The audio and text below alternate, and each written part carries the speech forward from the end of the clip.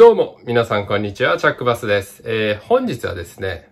マリオットボンボイの、えー、プラチナチャレンジについてね、えー、解説していきたいなと思います。で、このプラチナチャレンジっていうものはじゃあ何かっていうものなんですけども、まあ、本来ね、えマリオットボンボイのプラチナステータスっていうのは、年間で50泊しないと、まあ、もらえないステータスをですね、あの、3ヶ月以内に16泊することによって、マリオットボンボイのね、プラチナステータスが、まあ、約2年ぐらいね、付与されるっていう、プラチナチャレンジって言われてるものなんですよね。で、私自身も、えー、2019年の4月にこのプラチナチャレンジを実際に行って、まあ、プラチナ会員となり、まあ、今、プラチナステータスでホテルに滞在してるみたいな感じなんですよね。で、まず、まあ、プラチナチャレンジなんですけども、えー、どうやってやるかっていうと、マリオットのデスクに、えー、電話して、プラチナチャレンジをしますって宣言するんですけども、あの、プラチナチャレンジができる人っていうのが、まあ、ちょっと限られてまして、マリオットボンボイの、えー、シルバーステータス以上じゃないと、えー、このプラチナチャレンジっていうのはできないんですよね。シルバーステータス。で、シルバーステータスになるには、年間で10泊以上、えー、マリオットボンボイのホテルに泊まった人が初めてシルバーステータスになるっていうもので、まあ、要は、10泊した後にシルバーステータスになって、まあ、プラチナチャレンジで16泊しなきゃいけないっていうことで、まあ、何にもない状態でやると、まあ、26泊しなきゃいけないんですよね、ホテルに。ってことなんで、まあ、1万円のホテルだったら、まあ、それだけで26万かかる計算になりますよね。うん、辛いですね。で、あの、まあ結構私のね、動画でも紹介してます。この SPG Amex の場合、まあこちら持ってると、自動的にね、ゴールドステータスとなりますよね。ですんで、もしプラチナチャレンジをしたいんであれば、費用を考えるとですね、どう考えても SPG Amex の年会費払ってる方が安いんで、SPG Amex を発行してから、まあ、プラチナチャレンジをしていただけたらなと思います。で、ゴールドステータスのまあ特典を紹介すると、まず、ゴールドステータスだと、えーえー、滞在ごとにですね、25%のボーナスポイントがもらえます。で、えー、さらに、えー、客室のアップグレードも受けられます。で、レイトチェックアウトが午後2時。まあ、それ以外にもね、まあ、ちょこちょこ、えー、特典はあるんですけど、まあ、大きいところがここら辺かなっていう感じですかね。で、この、より望ましい客室へのアップグレードっていう風に記載がされてるんですよね、公式サイトには。まあこれがどのぐらいなのかっていうのは本当にホテルの空き状況によりますんで、でちなみにこのレイトチェックアウトもホテルのあの混雑状況によって変わります。で、私も、えー、今私はもうプラチナステータスですけども、プラチナステータスの状態でも12時とか、1時とか2時とか言われたことももちろんありますんで、まあこの2つはね、ゴールドであろうとプラチナであろうと、まあ時間はホテルの混雑状況によるっていう感じですかね。で、このより望ましい客室へのアップグレード。まあこれはどういうことかっていうと、まあホテルの部屋のランクが上がるんですよね。まあそれは言葉通りなんでわかると思うんですけども、じゃあどのぐらいの幅かっていうのは、まあこれもホテルの空き状況と、まあホテルが、あの、この上級会員に対して、どのぐらいのアップグレードを行っているかは、もう本当にホテルによって全然違うんですよね。ですんで私も、えー、ワンランクのアップの、えー、アップグレードを受けたこともあれば、このゴールドステータスで本来スイートルームの対象ってないんですよね。スイートルームを除くっていう風に書かれてるんですけども、えー、ニューヨークでね、スイートルームに宿泊させていただいたこともありますんで、まあちょっとそこも、まあ、可能性は低いにしても、ゼロではないっていう感じなんですよね。で、次にプラチナステータス。じゃあ、プラチナステータスになると、じゃあどうなるかっていうと、まあ、滞在ごとに50%のボーナスポイントがもらえます。で、プラス、えー、スイートルームを含む、えー、より望ましい客室へのアップグレードっていうふうに公式サイトの記載が変わるんですね。まあ、要は、えー、アップグレードですね。スイートルームが含まれた、えー、アップグレードが受けれることがあります。まあ、これも、えー、ホテルの空き状況によりますんで、まあ、されたりされなかったりっていうのはもちろんあります。で、私自身は、えー、スイートルームのアップグレードね、そのゴールド会員の時のニューヨークと、えー、先日行ったハワイの時に、えー、スイートルーム一泊、え、アップグレードね、させていただきました。まあもちろんね、追加費用はなしで、え、アップグレードしていて、その部屋はですね、え、本来、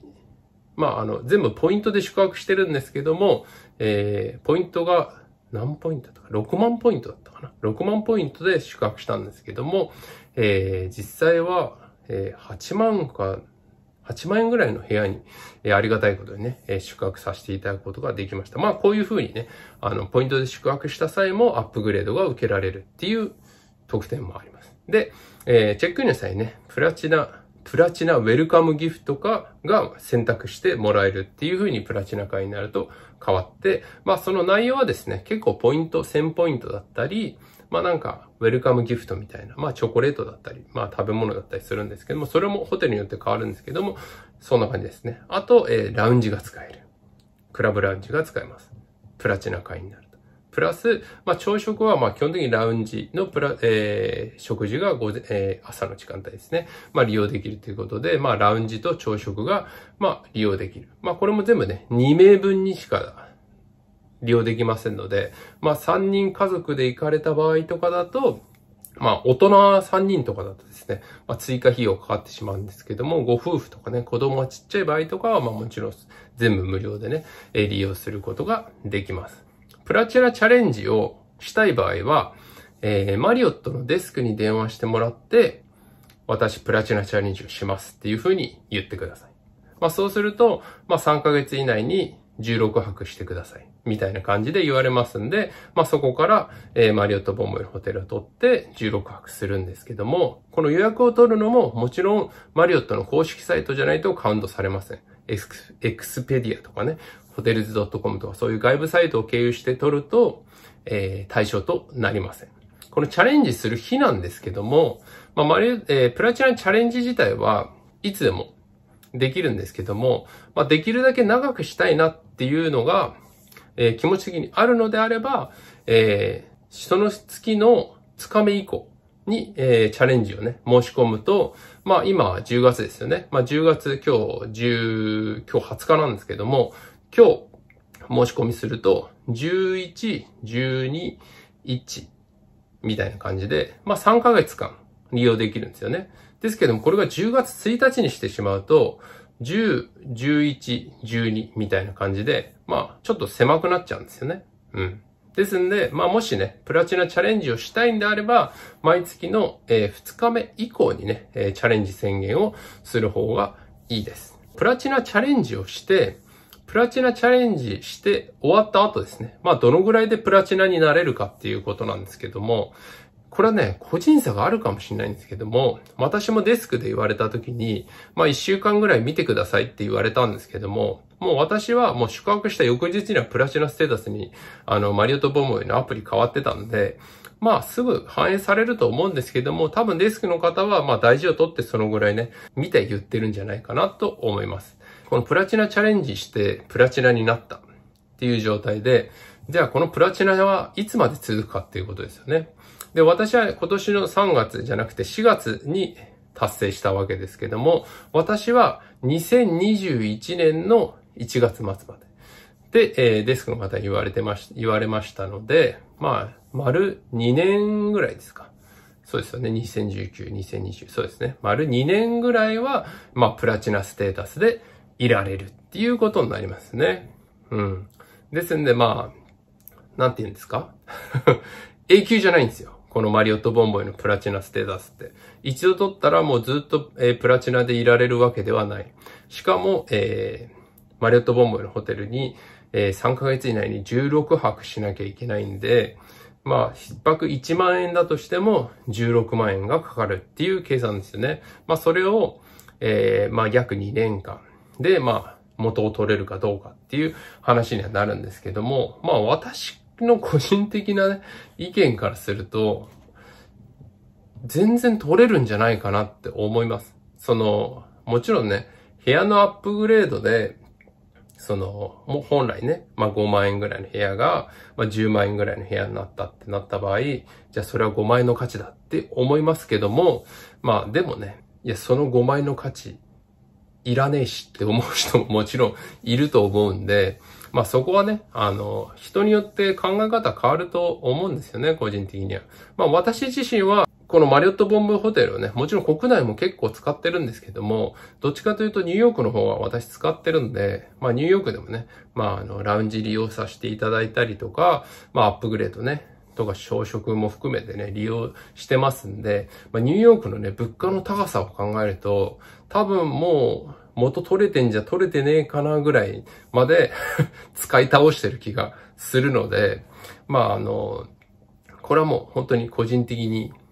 人のそれぞれのね、考え方でいいんじゃないかなって 思います。で、このプラチナチャレンジを、えー、宣言する日なんですけども、まあ先ほどね、1日以降がいいですよって私言いましたよね。で、月もあるんですよね。月。マリオットボンボイの、あの、会員の更新って1月の終わりなんですよ。まあ私も2021年の1月末までって言われたんで、まあ1月末が基本的に会員ステータスの、まあ切り替わりをね、まあやってる月なんでしょうね。ですんで、その、10月、今10月ですね。今10月して、まあ、12月に達成すると、その、12月から1月の間で、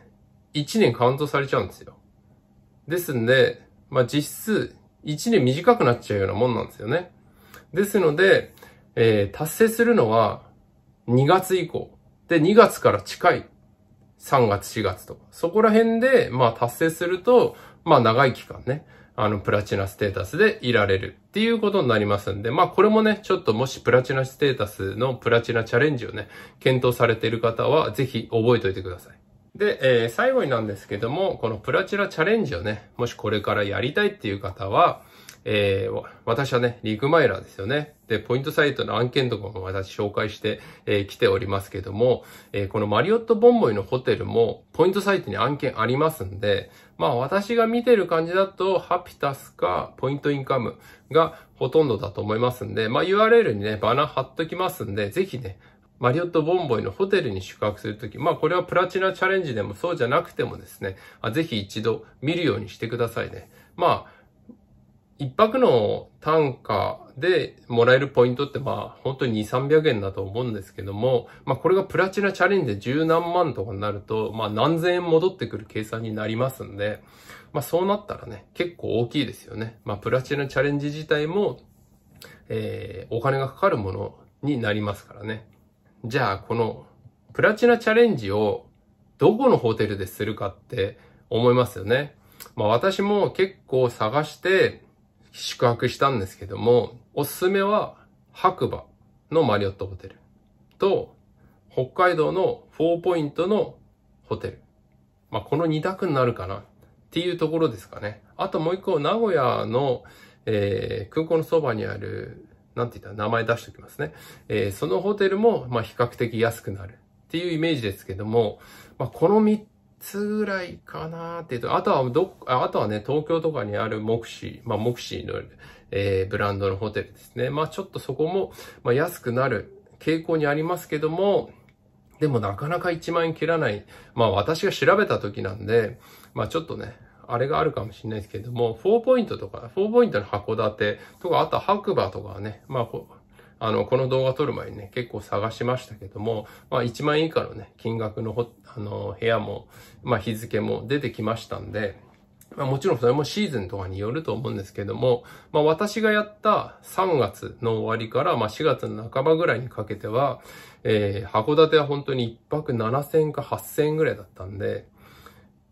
そうですね。安いですね。だからまあ、ここら辺のホテルに宿泊するよりかは、まあ、はるかに安く、まあ、プラチナ仕様ね、えー、達成できたっていう形になるんですよね。うん、っていうことなんで、まあ、この二つのホテルはね、特におすすめとなっております。まあ、私としてはね、あのー、4ポイントの函館って、まあ、函館空港からまあ、バスで30分ぐらいだったかなすると思うんですけども、でもね、函館駅の斜め向かいにあるんですよ。4ポイント函館って。ですので、あの、観光にするにもいいですし、まあなんか、楽しめる。まあ本当に駅の斜め向かいにあるんで、まあそういう意味では、まあ、函館の方が、まあ、駅からもね、バスで、あの、空港からもバスで行けて、まあ、駅の目の前にホテルがあるんで、まあ、どっか行くにしてもね、まあ、あの、利用しやすいんじゃないかなって個人的に思うのと、まあ、函館のその4ポイントの目の前に朝市とかもあって、その函館の観光スポットもね、まあある程度歩けたり、まあ市電だったかな。電車、路面電車ありますよね。それもすぐ近くに乗り場があったりとか、その本当に観光にはね、しやすいエリアにあるんで、まあそういう意味では私は、まあ函館の方がおすすめかなって個人的には思います。で、私の場合は、まああの、マイルがあったんで、マイルで行って、宿泊して、まあ帰ってくるみたいな感じだったんですけども、まあそれでもいいんじゃないかなって まあこ